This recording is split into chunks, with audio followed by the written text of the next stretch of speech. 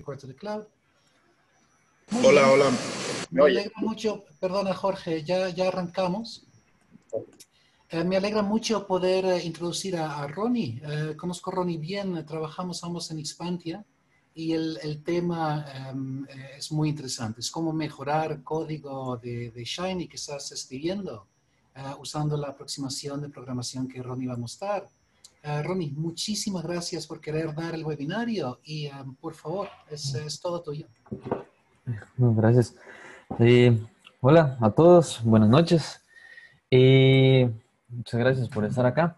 Nada más como un recordatorio, eh, de ir a Latam tenemos varios canales de, de, comunicación por redes sociales como Facebook, Twitter, por ahí anunciamos los, los webinarios que, que hacemos o otros eventos y cursos también que, que, hacemos para, para, hacer más comunidad. Eh, todo queda grabado y el video se sube a YouTube, al canal de, de Dira Latam. Y también está el podcast, que hay bastantes podcasts ya y bastantes son súper interesantes por si quieren revisarlos. Entonces están súper invitados. La, la charla de hoy eh, es sobre usar módulos en Shiny. Pero la quería hacer como una guía de inicio rápido, porque en mi experiencia usando Shiny, eh, cuando entró el tema de los módulos, fue un concepto que me costó aprender. Entonces, sentía que no tenía unos términos que me hicieran poder aprender por mí mismo que era un módulo. Entonces, lo que traigo acá es como esos conceptos básicos, principales, para que ya con estos podamos buscar otra información y podamos trabajar en nuestra aplicación de Shiny. Eh, nada más, vamos por acá. Estamos hablando de módulos en Shiny, una aplicación de Shiny. Eh, ¿Por qué hablamos de módulos? ¿Qué es lo que nos resuelve un módulo? ¿O por qué yo habría de implementar un módulo en mi aplicación si yo ya tengo una aplicación en Shiny, pues que funciona bien? Si ya han tenido la experiencia, eh, han visto que crear aplicaciones que la interfaz o lo que ve el usuario, lo que consume el usuario, puede ser relativamente simple o mediano, el código por detrás se hace enorme, se hace kilométrico. La complejidad va aumentando más y más conforme le agreguemos más eh, elementos a nuestra aplicación. Y esas conexiones van haciendo que esa complejidad aumente mucho. También, para trabajo en equipo, cuando se desarrolla una aplicación, pues se hace más difícil si yo soy quien está desarrollando y yo soy quien está trabajando en ella y que alguien de mi equipo se integre a trabajarla, pues puede ser, pero se va a necesitar mucha comunicación y además que trabajar en paralelo en ciertos componentes de la aplicación puede dificultarse, porque trabajarlo en paralelo hay que tener en cuenta pues esas conexiones que hacemos entre cada uno de los elementos de la aplicación de Shine. Entonces, cuando se empiezan a dar este tipo de situaciones, se empieza a pensar, ok, ¿cómo se soluciona esto? Y el primer consejo que dan es, trabaje funciones. Todo es una función. Pero vamos a ver que nos enfrentamos a un problema si pensamos que hacer todo funciones o todos los componentes de una aplicación en funciones nos va a solucionar el trabajar con una complejidad en la aplicación de Shine. Entonces, un módulo lo vamos a pensar como un componente que está autocontenido y nos va a ayudar a segmentar nuestras aplicaciones grandes. Este módulo autocontenido lo llamamos así porque va a tener en el mismo módulo un segmento UI y un segmento que es del server. Entonces, por eso es autocontenido. Ahora, podrán pensar que si el módulo es autocontenido y tiene su sección del UI y su sección del server, como toda aplicación de Shiny, podría correr entonces eh, de manera individual. Resulta que no. Los módulos van a ser siempre parte de una aplicación más grande. Okay. Lo podemos pensar entonces como una serie de autocomponentes que no son independientes, pero sí tienen todo el contenido necesario para desplegarse dentro de una aplicación. Hasta acá llevamos eh, tres conceptos. Los módulos son autocontenidos, los módulos son para segmentar y los módulos son de una aplicación más grande. Ok, ya tenemos tres conceptos con los cuales vamos a continuar. ¿Qué ventajas me da hacer esto? ¿Para qué yo voy a segmentar mi aplicación? Y es porque un módulo lo puedo reutilizar y ya probablemente vamos a, a sospechar de que si podemos reutilizar un módulo, vamos a ahorrar tiempo y escritura. No vamos a tener que repetir tanto algunos componentes y también aísla el código. ¿Y por qué es una ventaja aislar el código? Es porque entonces se puede dividir mejor el trabajo cuando estamos desarrollando una aplicación. Una persona puede estar trabajando en un módulo y otra persona puede estar trabajando en un segundo módulo.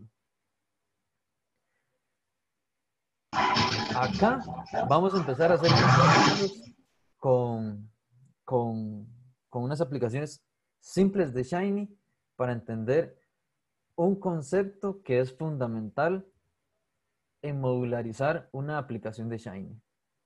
Entonces, ¿qué tenemos por acá al frente? Tenemos código para construir lo que es el segmento UI de una aplicación y un segmento server de una aplicación. Esto no está modularizado, nada. Es como cuando abrimos un proyecto de Shiny y se nos abre el, machote de Shiny. Es lo mismo, UI server y al final Shiny App para que levante la aplicación que tiene el componente UI y el server. Ahora, esos componentes son obligatorios en todas las aplicaciones de Shiny. Los módulos es otro tipo especial. Entonces, si nosotros corremos esto, tenemos, voy, voy a hacerlo y por acá en R, vamos. En este momento voy a copiar este código a R. Me dicen si, si ven bien la, la pantalla, si no para aumentar el tamaño. Entonces, tenemos una aplicación UI, entonces hacemos el espacio para el Fluid Page y le vamos a agregar un, un slider input. ¿Cierto? En slider input, entonces tenemos el ID de este componente de la aplicación. Y el ID nosotros le ponemos el nombre. Yo le puse slider. Ahora, esto es para manejarlo interno. Después le ponemos un label. Esto es lo que va a ver el usuario en la aplicación. Y los demás argumentos del slider es que tengo mínimo, máximo y un valor por defecto. Ese valor por defecto se lo ponemos en 25. Y ahora tengo por acá un elemento que es text output. Y ese output, esa salida, le vamos a dar también un ID. Se va a llamar salida des, desliz, le puse deslizador. Ok, UI siempre pensemos que es chapa y pintura. Es la parte que pone los componentes de la aplicación. Ok, ya tenemos un deslizador y tenemos eh, una salida de texto. Pero nada de esto funciona. Quien hace que funcione es el server. Entonces aquí vamos a programar el server. Entonces le ponemos function.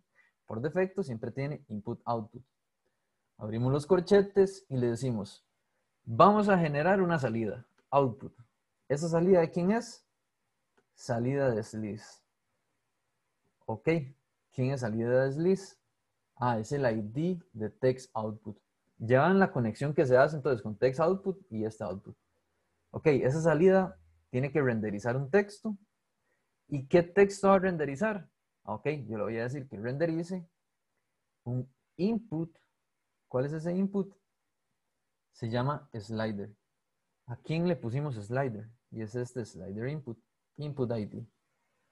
Entonces ahí tenemos esas conexiones internas. Cuando corremos esto, entonces vamos a tener esta aplicación.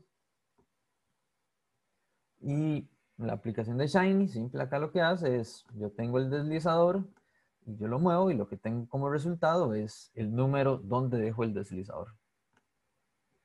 Listo, buenísimo. Una aplicación simple de Shiny. Entonces, UI server y después le dije, levante la aplicación. Y esta es la funcionalidad que tiene. Hasta ahí, bien.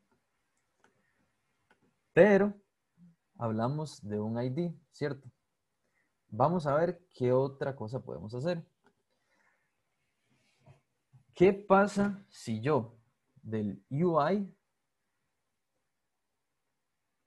teníamos aquí anteriormente slider input dentro del UI? ¿Qué pasa si yo lo saco del UI, lo hago una función y luego llamo esa función dentro del UI.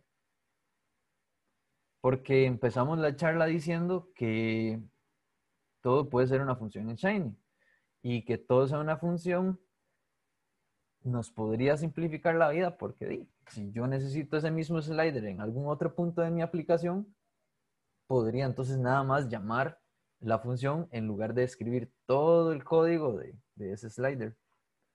Entonces, vamos a hacerlo así. Copio esto por acá. Lo sé. Y voy a eliminar esto porque este es el nuevo. Y acá tenemos UI.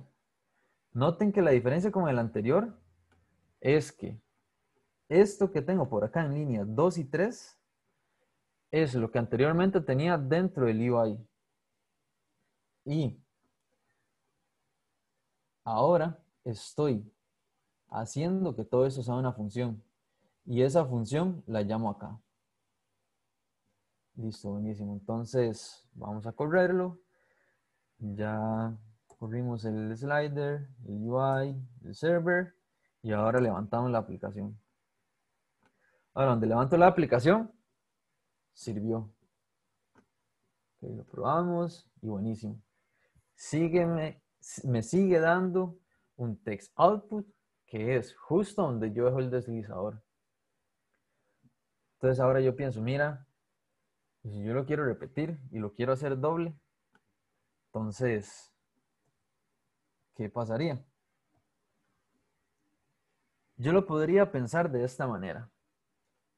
Yo digo, ok, tengo slider, no quiero escribir eso varias veces, pero en mi aplicación quiero tener dos sliders.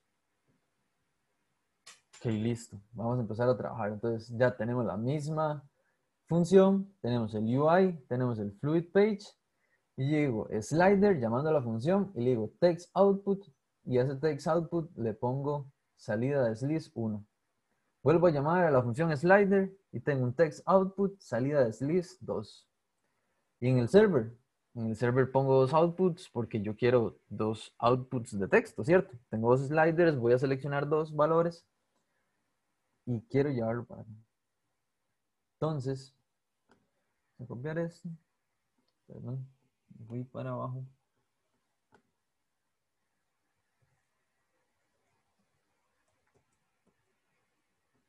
Y venimos para acá. Y lo que cambiamos es que ahora tenemos entonces estas dos salidas y llamamos dos veces a la misma función. Y vamos a correrlo. Vamos a ver si esto funciona. Dice que ya levantó la aplicación. Revisamos la aplicación.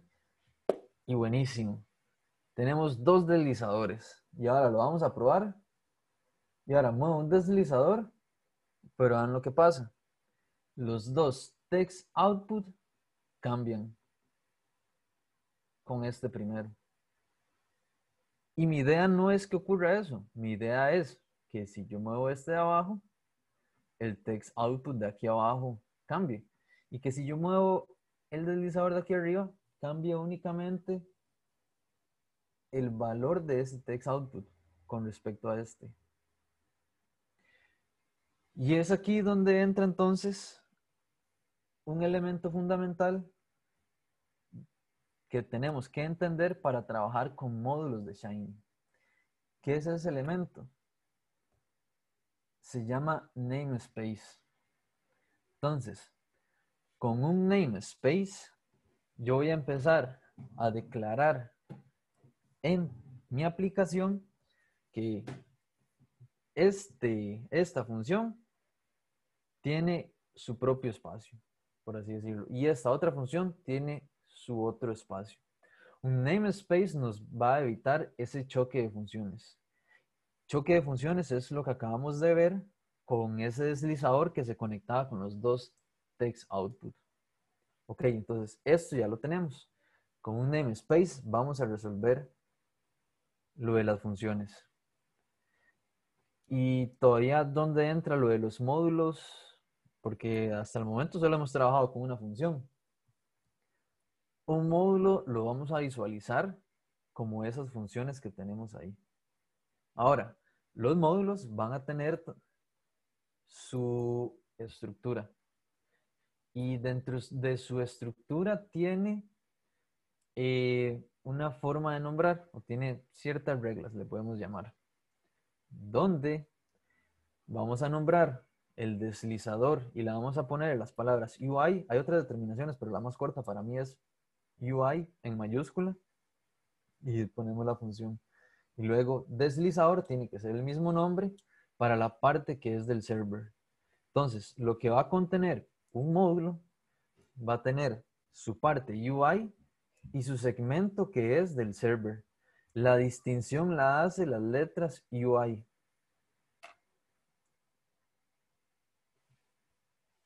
¿Y qué vamos a tener también? Ok, ya estamos pensando en nuestros scripts, en el módulo, pero si damos un paso para atrás y revisamos entonces cómo nos queda nuestro proyecto, vamos a tener algo similar a esta estructura. Vamos a tener un archivo, un archivo global vamos a seguir teniendo un server y vamos a seguir teniendo un UI. Ahora, por convención, vamos a tener entonces una carpeta que se va a llamar modules y bajo esa carpeta vamos a tener los módulos. Le podemos poner el nombre que nosotros queramos. Entonces, un módulo es autocontenido, es una función. Al ser una función, vamos a poner nombres que sean iguales, pero distinguimos el UI del server terminando las palabras, terminando el nombre de el UI con un UI. Y la estructura del proyecto va a tener el global, el server, el UI y una carpeta modules, bajo la cual vamos a tener los módulos. Ahora, ¿cómo va a funcionar esto?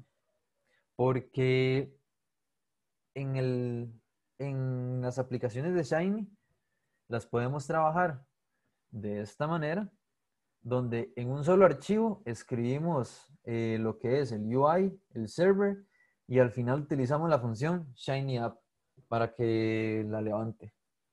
O podemos tener un archivo UI separado y un archivo server separado. Si ya lo han trabajado, van a ver que esos archivos van creciendo muy rápido conforme vamos agregando cada vez más elementos. Y ahora vamos a hacer un paso más. Vamos a tener módulos. Vamos a llevar código a esos otros scripts. Y esos scripts van a tener una comunicación de, de, esta manera. Eso es algo simplificado porque puede haber pues más, más, más tipos de comunicación, digamos, pero en este caso, nosotros tendríamos un deslizador UI, que le ponemos deslizador nuevo. En el server, en el server no vamos a escribir nada que sea para desarrollar entonces lo que tiene ese componente UI. Porque recuerden, UI es la parte chapa y pintura y el server es la parte funcional. Sino que el server va a ser el llamado del módulo. Prácticamente que nos va a servir como un intermediario entre el UI que es el que levanta eh, la, fachada para, para, el usuario. Y cuando el usuario hace un clic en algo que implica una función de un módulo, el UI se conecta al server, el server llama al módulo y el módulo devuelve entonces la funcionalidad o lo que tenga que devolver.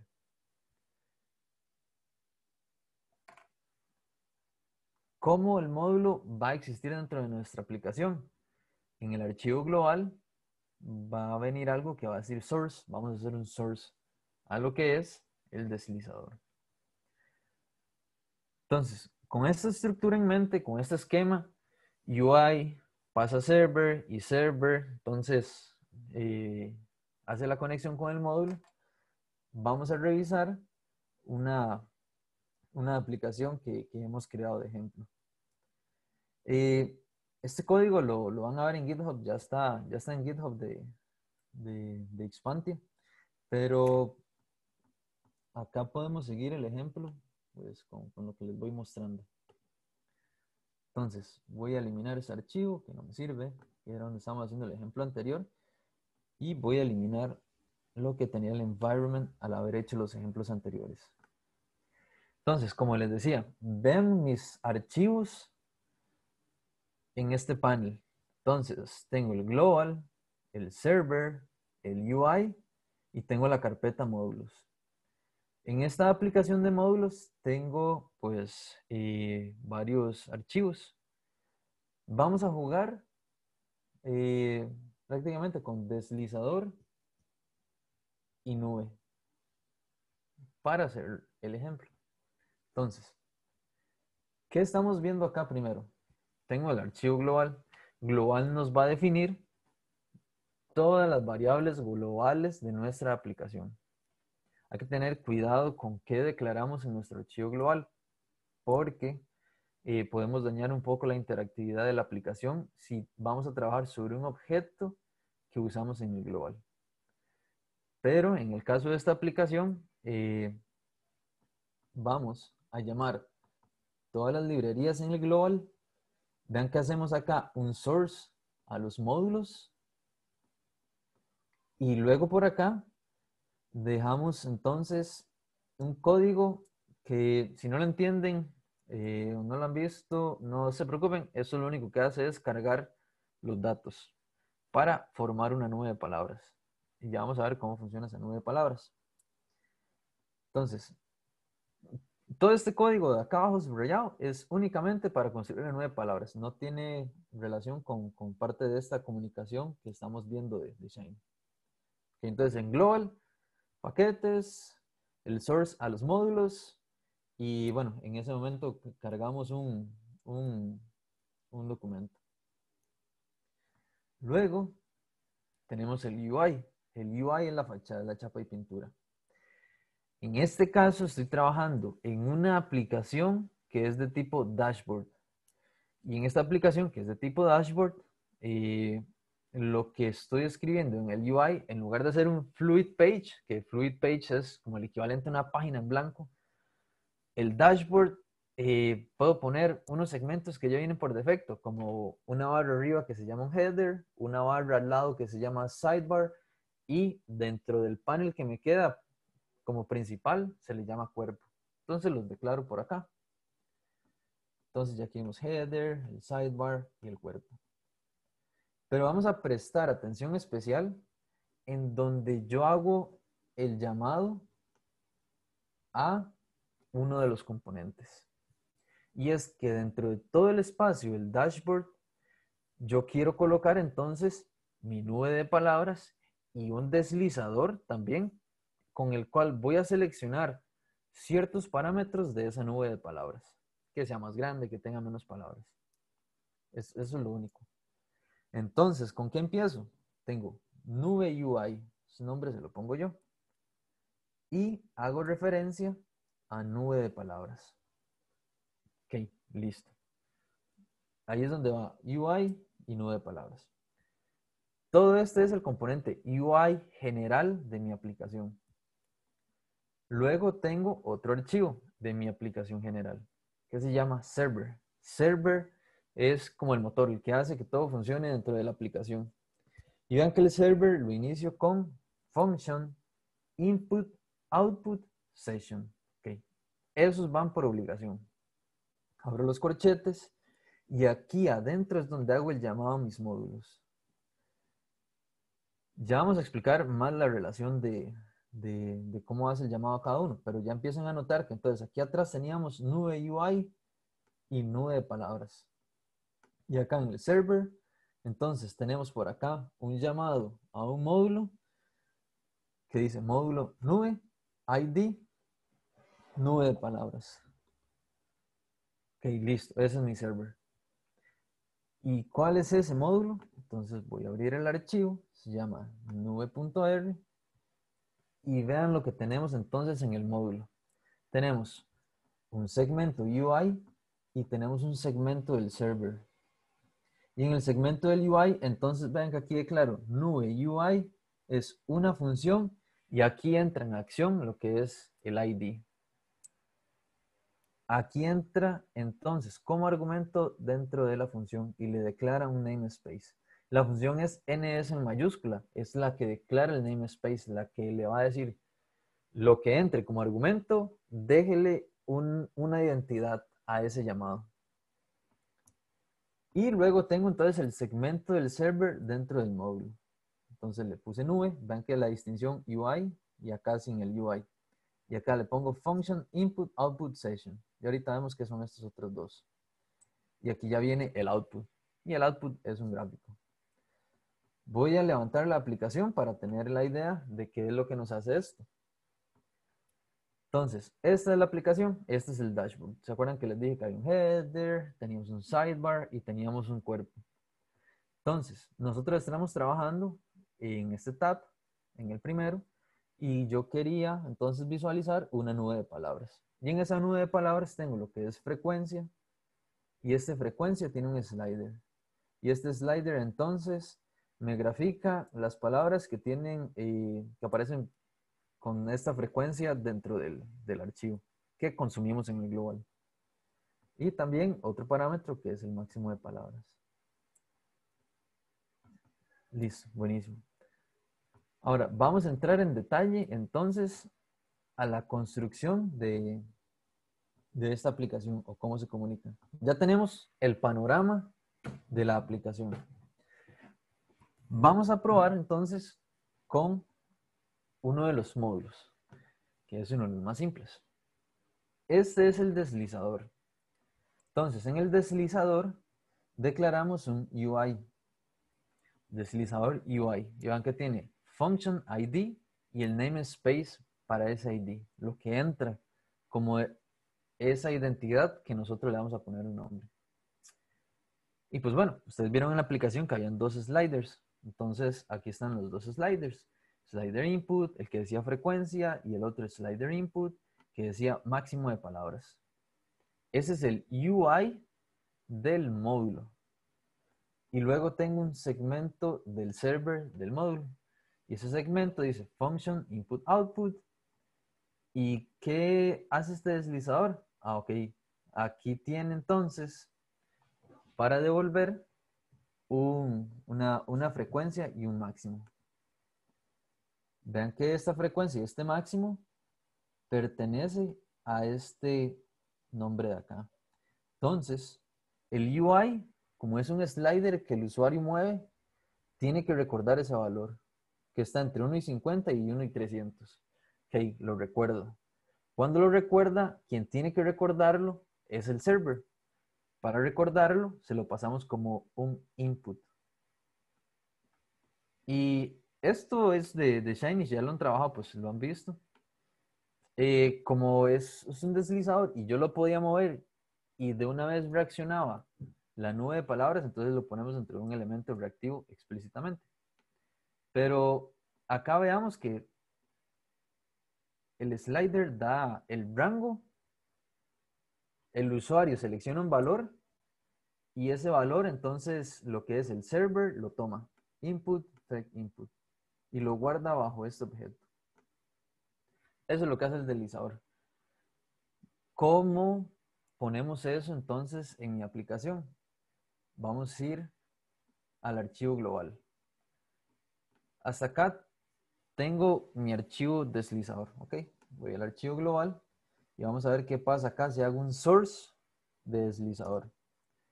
Van que cuando hice ese source, tal vez voy a hacerlo otra vez. para borrar todos los elementos que tenía que se vea más claro. Cuando hago el source, el environment cambia. Y vean que lo que cambia es que se trae dos funciones. Y vean que lo tiene declarado acá dentro del environment.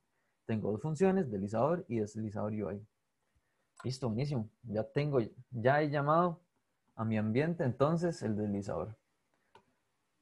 Voy a acomodarlo dentro de todo el espacio de mi aplicación. Y para acomodar ese deslizador dentro de todo el espacio de mi aplicación, yo tengo entonces el UI. Y lo coloco dentro del cuerpo, en un segundo renglón, dentro de una caja, y le pongo el nombre. Bueno, no le pongo el nombre, le llamo el deslizador UI. Y recuerdan que deslizador UI, que es esta función, toma un argumento y que ese argumento va a ser su identidad. Ok, aquí se lo estoy pasando. La identidad que le puse a ese es deslizador nuevo. No soy muy creativo con los nombres, entonces por eso van a ver que hay nombres de ese tipo, deslizador nuevo, deslizador segundo. Pero en este caso tenemos deslizador nuevo como identidad de ese llamado. Ahora, ¿qué hacemos en el server? En el server este, no le pongan atención. Le vamos a poner atención al de la línea 9. Vamos a hacer el llamado al módulo. ¿Cuál es el módulo? Se llama deslizador. ¿Y cuál es el ID de ese módulo? Perdón, del módulo no. ¿Cuál es el ID de ese llamado al módulo? Deslizador nuevo.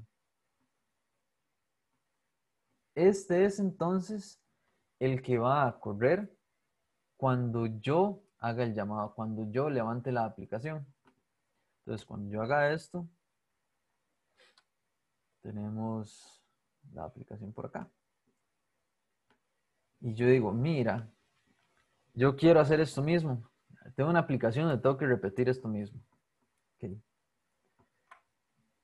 Vamos a llamar a un deslizador nuevo.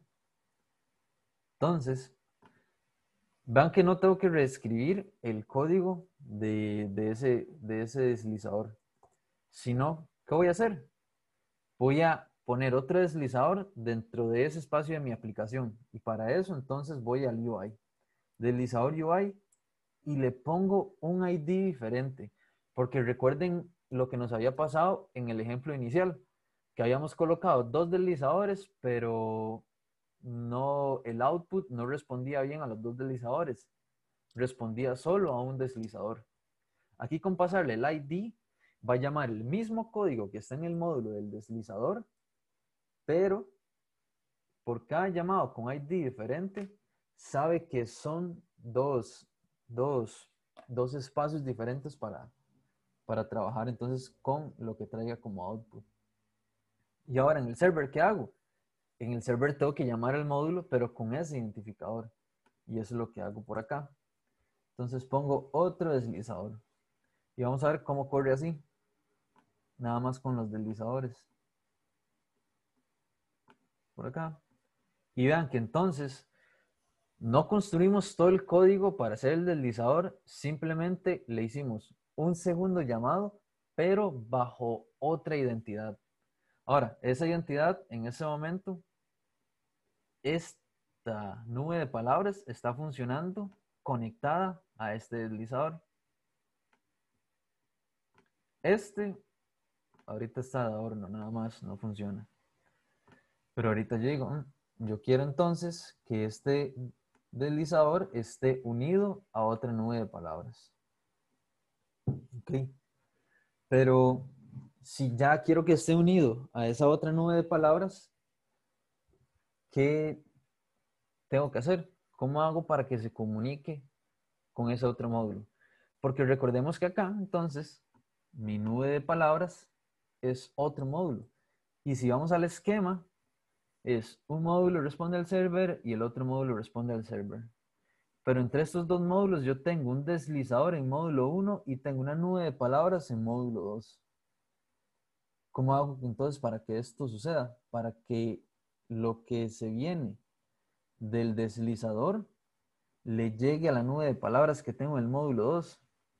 Y es ahí donde entonces tenemos que trabajar un poco con los argumentos que le pasamos a las funciones. Recuerden que los módulos son funciones y toman argumentos. Y vean lo que vamos a hacer. Veamos que el deslizador en el server hacemos un return de dos objetos. Un frec input y un max input. Ah, bueno, inclusive acá en el server vean que pusimos bajo un objeto lo que es el deslizador nuevo. Y le dejé por acá un print. Todavía en mi consola está ese print de ese deslizador. Ahora, yo tengo acá, estos son otros segmentos de la aplicación que no vamos a ver ahorita por tiempo. Pero entonces yo tengo acá el llamado al módulo nube. mi módulo nube es este de acá. ¿Qué tiene nube? ¿Qué necesita nube? La función para construir la nube de palabras es WordCloud. Y WordCloud tiene dos argumentos que es frecuencia mínima y máximo de palabras. Estamos jugando con esos dos. A esos dos argumentos son los que necesitamos pasarle los valores de los deslizadores. Entonces, ¿qué hacemos? Ok, trabajamos igual como trabajamos con cualquier función R.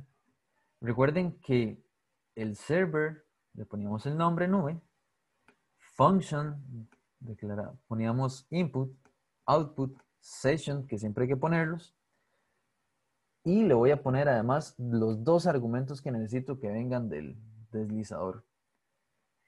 Frecuencia y máximo.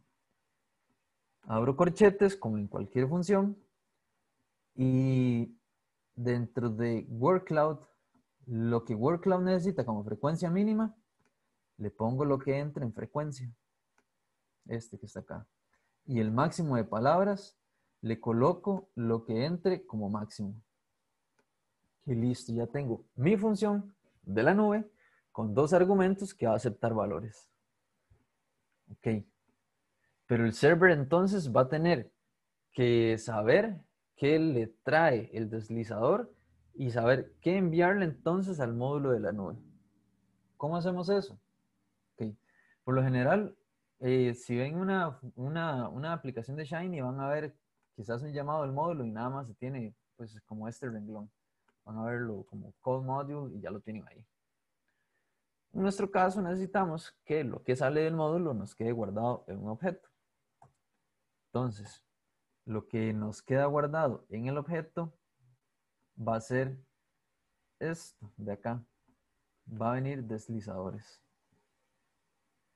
Y acá está el llamado al módulo. Pero entonces, ¿qué le decimos a Shiny? Porque recuerdan que eso es interactivo, que yo muevo la barra y la nube de palabras cambia.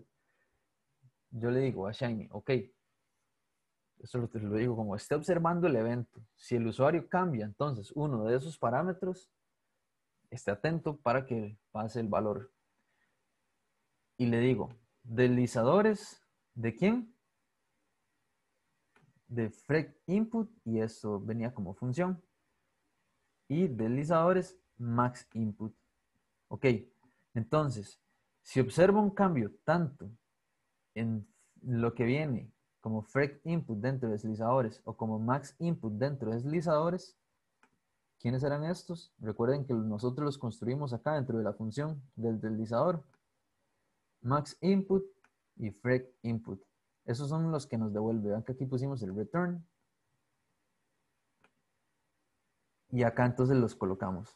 Porque acá pusimos deslizadores que viene del llamado del módulo. Ok. Y ese llamado del módulo nos trae lo que venía dentro del módulo, que es frec input y max input. Y adentro entonces ponemos el módulo. Recuerden que cuando construimos el módulo de la nube, tenemos los que están por defecto, input output session, frecuencia y máximo. Ok. En el server, entonces, ¿qué le digo? Llamar al módulo, el ID del módulo y frecuencia y máximo. ¿Quiénes son frecuencia y máximo? Lo que viene entre deslizadores frec input y lo que viene entre deslizadores max input. Y así entonces Shiny va a poder generar un, una nube de palabras con los valores que le ponga el usuario. En este caso aún no tenemos, entonces, la segunda nube de palabras. Vamos a poner la nube de palabras. ¿Cómo la colocamos? Okay. Tenemos nube UI, porque así es como se llama la función de ese módulo. Y le ponemos una identidad diferente a la que ya teníamos. En este caso, mi creatividad dio para ponerle nube-2. Pero al menos es diferente en nube de palabras. Entonces, ya la tenemos. En el server, ¿qué vamos a hacer? En el server, entonces, yo lo que voy a hacer es copiar este código y cambiarle algunos parámetros.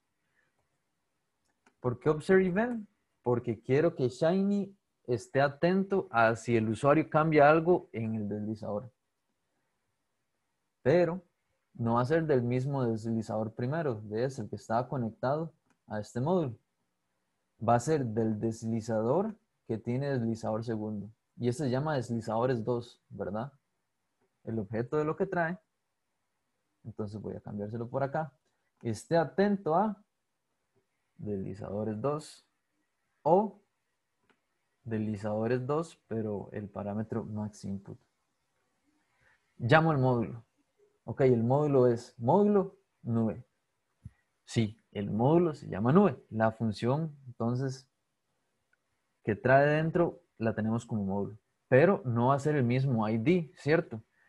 Atrás le pusimos nube-2. Y este nube-2, entonces, va a ser el que tenga esta identidad. Ok. ¿Qué me faltaría acá? Lo que le estoy pasando como argumentos. Frecuencia y máximo. Yo quiero que esta frecuencia y este máximo sea de el objeto deslizadores 2, que llama al, al módulo que tiene identidad deslizador segundo. Lo tenemos acá. Y espero que esto funcione. Vamos a ver. Entonces dice que ya está listo. Vamos a verlo. Y ya tenemos entonces dos nubes de palabras.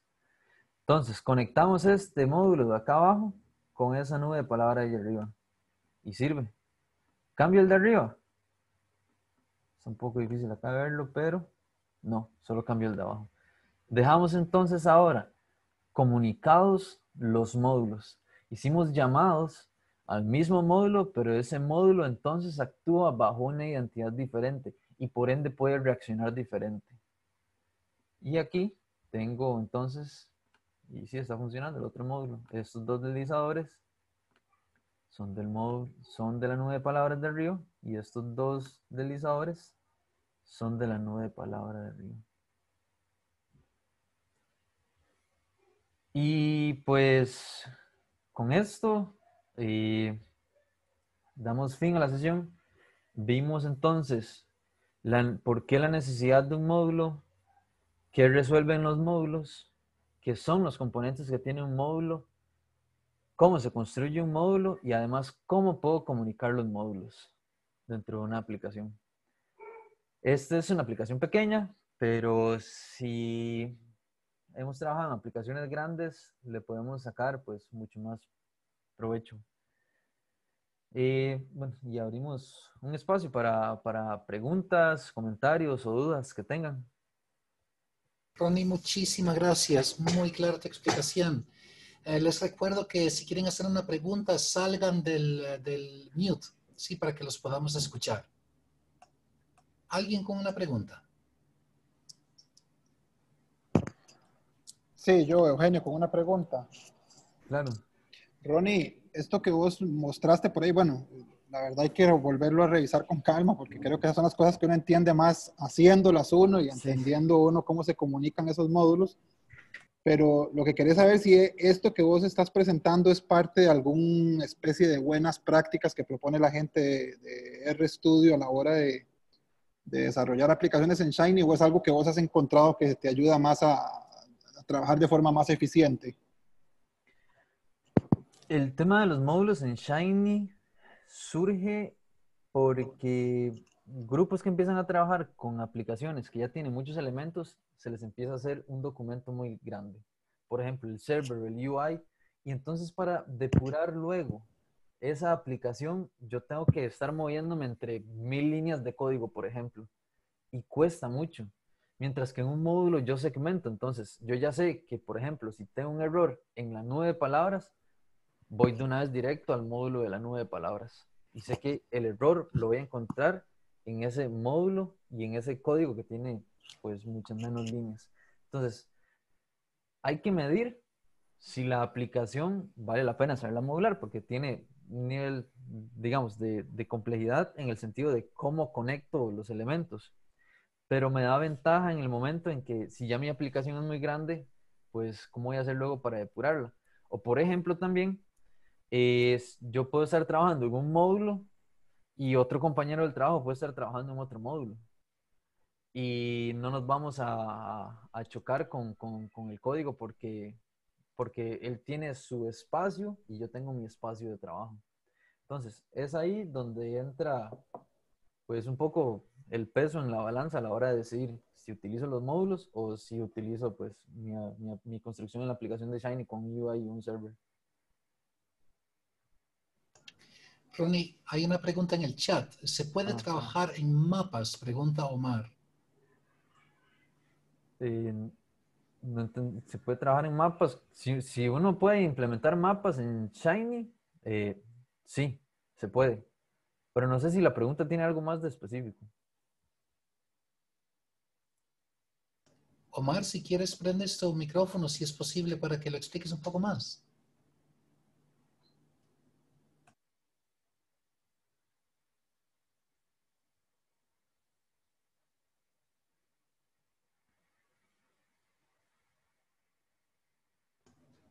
Bueno, cualquier cosa. En Shiny se pueden implementar mapas. y hay pues paquetes eh, son bastante útiles para esos.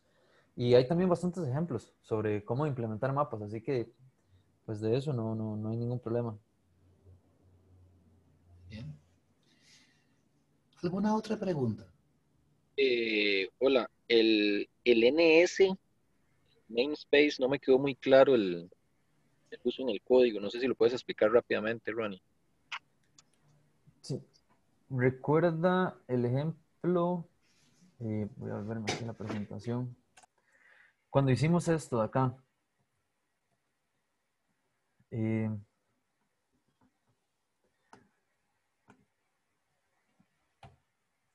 si yo copio esto, voy a tener la otra aplicación.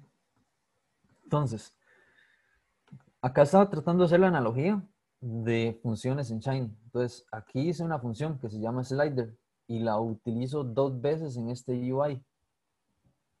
Entonces, eh, al usarla dos veces acá, cuando levanto esta mini aplicación, vea que yo estoy, eh, vamos el código, que lo tengo aquí a la par, yo no estoy construyendo dos veces un slider input. Esto que está aquí en línea OSI 3, yo no lo repito dos veces lo tengo dentro de una función. Sin embargo, mi aplicación aparece dos veces.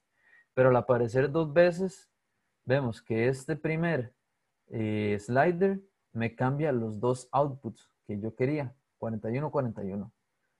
31, 31. 19, 19.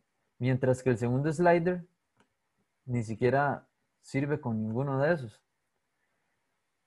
Si yo quiero que cada uno de estos funcione de manera separada, yo le tengo que poner una identidad.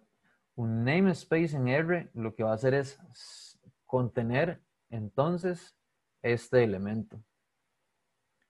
Y con eso puedo hacer que al yo utilizar esta función pueda hacerla independiente de este otro llamado. Porque acá, o bien yo podría sobreescribir el uso de la función, o no voy a estar entonces conectando lo que yo quiero del llamado de una función a mi otro elemento de Shiny. ¿Quedamos claro? Sí, claro. Muchas gracias, Ronnie. Con gusto. Muy bien. ¿Hay alguna pregunta más? No. Hola. Ah, Rafael, dale. eh, ustedes mencionaron al inicio, ustedes tienen cursos acerca de Shiny. Eh, hay eventos que hacemos, eh, que son cursos, son presenciales. Hemos hecho cursos de Shiny, no son específicamente de Shiny, sino que los hacemos de, varios temas. Hemos hecho de ePlayar, eh, de pruebas automáticas y demás. Pero sí hacemos cursos y los hacemos presenciales. Únicamente presenciales. Pues sí, Francis, no sé si se quiere comentar algo con esto. Sí, mira, eh, si estamos hablando de Datalatam, eh, quizás pon el slide de Datalatam el primero, Ronnie, em, eh, en, la, en, la, pantalla. Em, el objetivo de Datalatam es, es, esto, ¿no? Es fomentar un poco la comunidad, por eso estamos aquí, para, para conocernos y poder colaborar. Y estos cursos sí los hacemos únicamente presenciales justamente porque parte de la, del objetivo es que nos podamos sentar a, a, reunir y, y a, comer almuerzo después.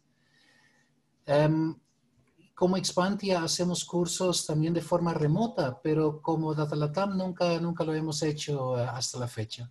Si no, no lo excluyo que nunca vaya a pasar, pero hasta ahora no tratamos de poner las grabaciones de los cursos en el canal de YouTube. Debo confesar que muchos se quedan pegados un poco porque, porque es bastante trabajo editarlos, eh, pero en lo posible tratamos de poner los cursos ahí también. Um, entonces revisa, esa, revisa las grabaciones en YouTube um, de vez en cuando, a veces, a veces siguen apareciendo. Ya entiendo, sí, es que mi pregunta iba porque yo no estoy en el mismo país de ustedes, entonces por eso tenía ahí un poco de interés a ver si había eh, opción virtual o en línea. Pero bueno, ahora me queda claro y pues sí, voy a ver ese canal de YouTube. Perfecto, sí, es que estos cursos no son, no son comerciales, ¿no? Esto es más para comunidad. Eh, entonces, ahí está la, la, la, la, la, cosa en que tratamos de compartir lo máximo posible, pero no siempre nos da el tiempo. Eh, voy a ver qué hay de, de, de Shine. Hay por lo menos un par de charlas, Rafael, que podrías, que podrías mirar ahí. Y cualquier iniciativa que venga de parte de ustedes y que quieran tratar de mancomunarla con Daily Latam, pues nos envían un mensaje y pues revisamos en qué forma podemos colaborar y hacer pues más grande la comunidad. Exacto, muy buena Ronnie, muchas gracias. ¿Sí? Con eso les agradezco a todos por, por asistir, muchísimas gracias. Ronnie, otra vez muchas gracias por tu presentación y um, espero, esperamos verlos uh, en, en, alguna oportunidad uh, pronto. Muchas gracias y que estén muy bien. Chao a todos, gracias. Gracias, hasta luego. Hasta luego. Gracias. Con gusto. Gracias.